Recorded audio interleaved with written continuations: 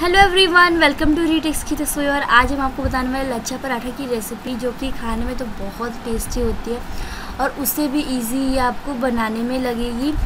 तो ये बहुत जल्दी बन जाएगा, कम इंग्रेडिएंट्स के साथ बनेगा। और आप इसको चाहे तो पनीर कोरमा के साथ भी ट्राई कर सकते हैं, जो कि बनाने में बहुत ही ईजी होगा। और अगर आपको उसका वीडियो देखना है तो मैंने उसका लिंक डिस्क्रिप्शन बॉक्स में दे दिया है। तो सबसे पहले मैं आपको लच्छा पराठा की इन्ग्रीडियंट्स बता देती हूँ।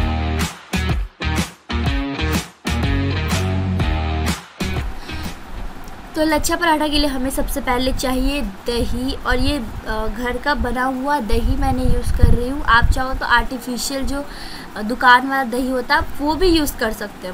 उसके बाद मैं ली हूँ यहाँ पे चाट मसाला। मैंने अपने स्वाद के अनुसार चाट मसाला भी लिया है। फिर मेरे पास एक कलौजी है काली वाली कलौजी ही है तो बिल्कुल ऑप्शनल है ये। उसके बाद मेरे पास है दो बड़ी चम्मच तेल। जितना मैंने दही लिया, उतना ही तेल भी लिया फिर मेरे पास है शुगर एंड कस्तूरी मेथी। उसके बाद मेरे पास है बेकिंग पाउडर और नमक मेरे पास है स्वाद अनुसार ही।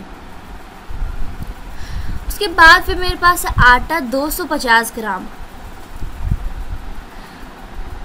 तो सबसे पहले हमें इसमें, इसका बैटर बनाना है तो बैटर बनाने के लिए मैंने लिया है 250 ग्राम आटा, जैसा कि मैंने आपको बताया था। फिर मैं इसमें डाल रही दो बड़ी चम्मच के करीब तेल, दो बड़ी चम्मच ही दही में डाल रही हूँ। और उसके बाद फिर मैं डाल रही हूँ इसमें अपने स्वाद अनुसार नमक। आप भी अपने स्वाद अनुसार ही नमक डालिएगा। फिर मैं डाल रही हूँ थोड़ा सा बेकिंग पाउडर और फिर मैं डाला है चीनी, आधा चम्मच के करीब और फिर उसके बाद हम सबको अच्छे तरीके से मिक्स कर देते हैं। एंड मिक्स करेंगे हम बहुत ही सॉफ्ट हल्के हाथों से बिकॉज़ हमें डो को सॉफ्ट ही बनाना है। हार्ड नहीं कर रहा है तो हम इसे सॉफ्टली अच्छी तरीके से गूंदना है। और आप इसमें पानी का यूज़ भी कर सकते हैं। या फिर आप दही या तेल का भी यूज़ कर सकते हैं। मैंने यहाँ पे पानी का यूज़ किया है। तो डो बहुत अच्छी तरीके से रेडी हो चुका है एंड सॉफ्ट भी है, बहुत ज़्यादा फ्लपी भी है। तो अब हम इसे ढक देते हैं एंड इसे हम 10 से 15 मिनट के लिए हम इसे ढक देते हैं और इसे मेल्ट होने के लिए छोड़ देंगे।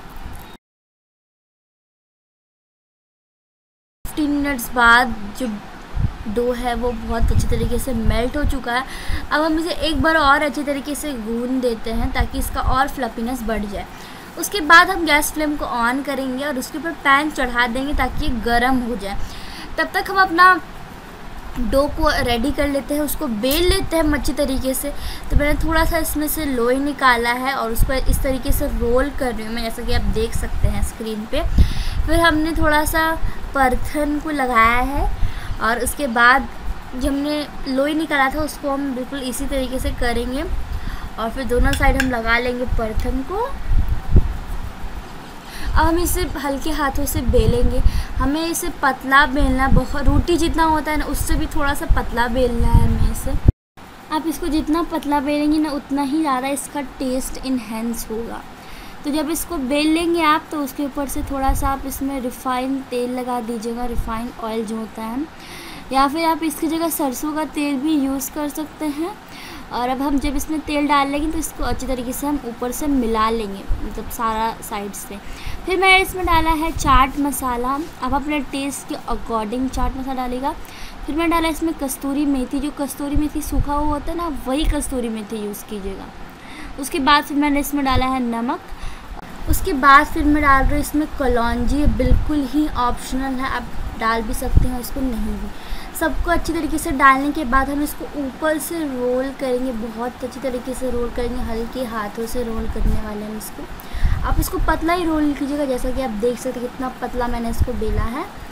और अब हम इसको इस तरीके से रोल कर लेंगे मतलब सीधा सीधा रोल कर लेंगे। उसके बाद हम इसको हल्का सा चिपटा करेंगे अपने हाथों की हेल्प से। उसके बाद हम थोड़ा सा वापस से वही रिफ़ाइन ऑयल हम इसमें लगा देंगे, आप चाहो तो। सरसों का तेल भी इसमें यूज़ कर सकते हैं। सो हम बिल्कुल इसी तरीके से उसके ऊपर वाले सरफेस पे इसको हम लगा देंगे।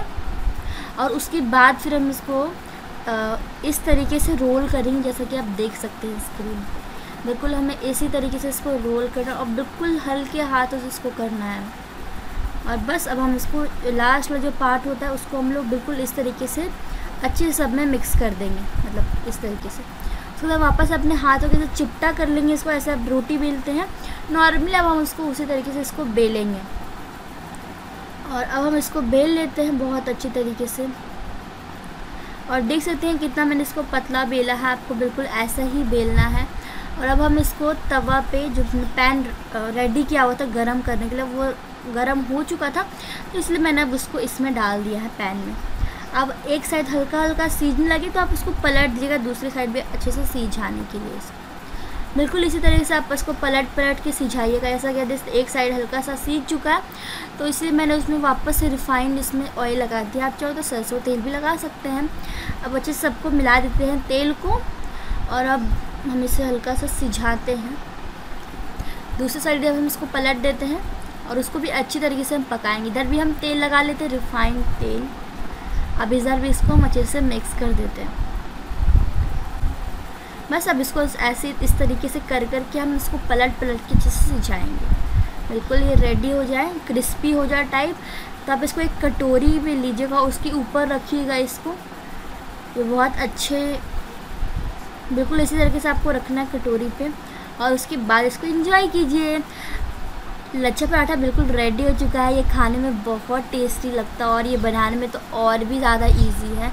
जो रेस्टोरेंट में मिलता है, जो ढाबे में मिलता है, बिल्कुल वैसा इसका टेस्ट आएगा, लच्छा पराठा का तो आप इसको ट्राई कर सकते बहुत ज़्यादा ही टेस्टी लगेगा।